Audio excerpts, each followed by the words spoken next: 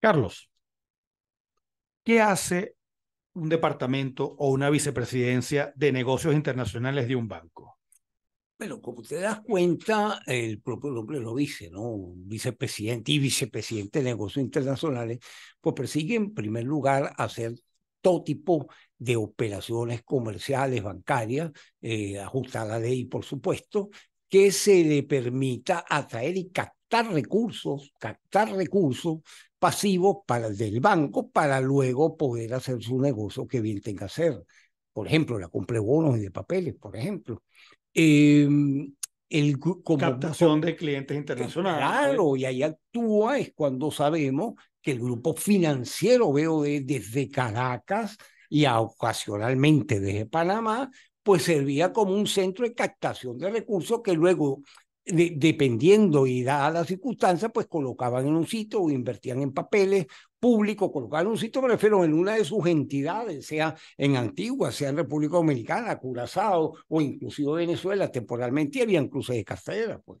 Eso es una de las cosas que, que siempre nos llamó la atención y que reafirmaba el carácter de grupo económico grupo financiero calificado por Sueban. No está equivocada la Sueban. Lo que pasa es que de la noche a la mañana, entregar y medianoche, pues se olvidó de su calificación. ¿Y tú sabías quién era el vicepresidente de negocios internacionales? Bueno, entiendo que era eh, este, esta persona, Luis Alfonso de Borbón.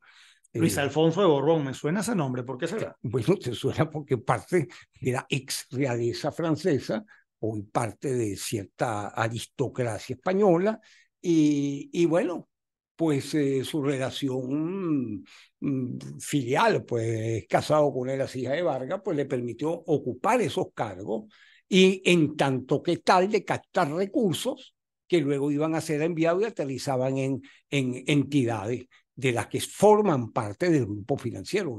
Yo te confieso que yo ni siquiera sabía quién era ese señor hasta que llegó este amigo nuestro, este señor que recibimos la otra vez en la oficina y nos enseñó la tarjeta. Sí, como no. Eh, eh, y los cuentos eran hasta divertidísimos. Sí, sí. Bueno, divertidísimos, salvando porque también sabemos de casos que no fueron divertidos. Que no fueron divertidísimos y que terminó en la muerte, fallecimiento, un señor que no pudo ser trasladado a la clínica oportunamente. Bueno, pero también entonces vemos cómo hay otros elementos de, de esta trama del banco si hay, digamos, pareciera, es más, tú deberías llegar a lo mejor a la revista esta que llaman Hola, debe encantar eso.